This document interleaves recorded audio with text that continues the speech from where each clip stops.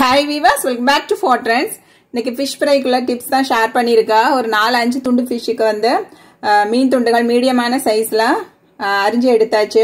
இதில் நல்லா க்ளீன் பண்ணி எடுத்துக்கலாம். மஞ்சள் தூள் உப்பு சேர்த்து ரெண்டு டீஸ்பூன் காஷ்மீரி மிளகாய் தூள் ஒரு teaspoon pepper powder half teaspoon turmeric powder ஒரு டீஸ்பூன் ஃபெனல் பவுடர் உப்பு வந்து ஒரு முக்கால் டீஸ்பூன் அளவுக்கு சேர்த்துருக்கேன். சேர்த்து நல்லா மிக்ஸ் பண்ணிடலாம். இஞ்சி வந்து க்ரஷ் பண்ணி சேர்த்துருக்கேன்.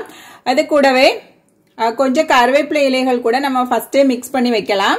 நான் சம்டைம்ஸ் வந்து கார்லிக் கூட சேர்ப்பேன். எல்லாம் மிக்ஸ் பண்ணி கொஞ்சம் ஆயிலும் சேர்த்து நல்லா மிக்ஸ் பண்ணி வச்சிடலாம். ஒரு ஹாஃப் அன் ஹவர் கழிச்சு ஒரு சாஸ்பேனில் ரெண்டு டே- ரெண்டு மூணு டேபிள் ஸ்பூன் ஆயில் வந்து நல்லா சூடு பண்ணிக்கிட்டேன். தேங்காய் எண்ணெயில் நல்லா சூடு பண்ணிட்டு இந்த மீன் துண்டுகளை வந்து இது மாதிரி பொறிச்சு எடுத்துடலாம். இதில் வந்து கடலை மாவு சேர்த்துருக்கிறதுனால மசாலா வந்து எண்ணெயில உதிராது.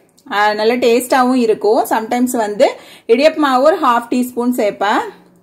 இது மாதிரி கிடைச்சிது. கருவேப்பிலை இலைகள் வந்து கொஞ்சமாட்டு சேர்த்துக்கலாம்.